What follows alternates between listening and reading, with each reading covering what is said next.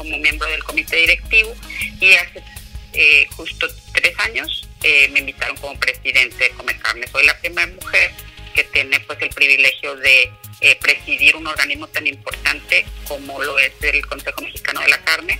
Estamos ahí agrupados el pues 95% yo creo de, de los de las empresas que transformamos la carne en los diferentes eslabones. ¿Qué, ¿qué tipos, de, ¿Qué tipos de carne, Carla? Sí, son todas las proteínas, bovino, eh, eh, pavo, o sea, ave y cerdo. Eh, y somos quienes transformamos. Algunos socios participan en uno o más eslabones de la cadena.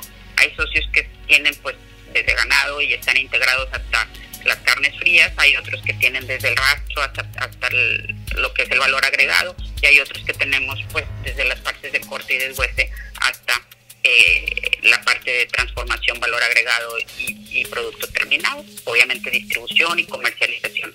Somos 95 socios, entre socios y asociados.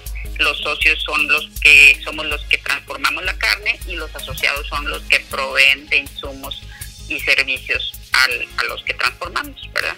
Entonces te, comento eh, en, cuál me dan esta responsabilidad de relaciones institucionales en los últimos, eh, pues del 2013 para acá siete años y eh, los últimos eh, tres, ya voy por mi cuarto año como presidenta, he estado al frente de Come Carne. También me toca participar en Canilec, en el Consejo Nacional Agropecuario.